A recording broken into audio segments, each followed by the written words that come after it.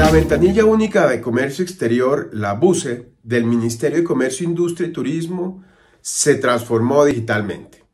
Y esto genera un gran impacto para el país y es un ejemplo de la transformación digital que deben sufrir todos los trámites en el país. Anteriormente, para hacer un trámite de importación o exportación, debía entregarse un poder especial en notaría al agente aduanero.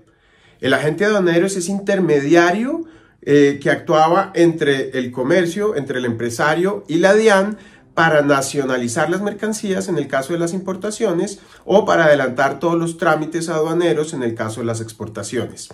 Entonces, la persona tenía que ir hasta una notaría, autenticar un poder, entregárselo a la gente, a la agencia de aduanas, la agencia de aduanas también tenía que ir a la notaría, autenticar el poder y ahí empezar a actuar ante la DIAN.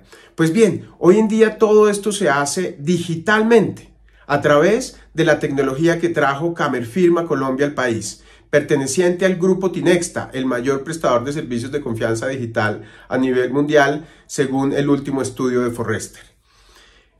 Y lo que se hace es que a través de una biometría facial, de un proceso que, se conoce internacionalmente como onboarding digital, se le permite a la persona identificarse y una vez identifique, se le emite un certificado de firma digital y con esa firma digital la persona le otorga un poder especial a su agente de aduanas. Pues bien, un aplauso para el Ministerio de Comercio que ha transformado digitalmente la ventanilla única de comercio exterior, BUCE.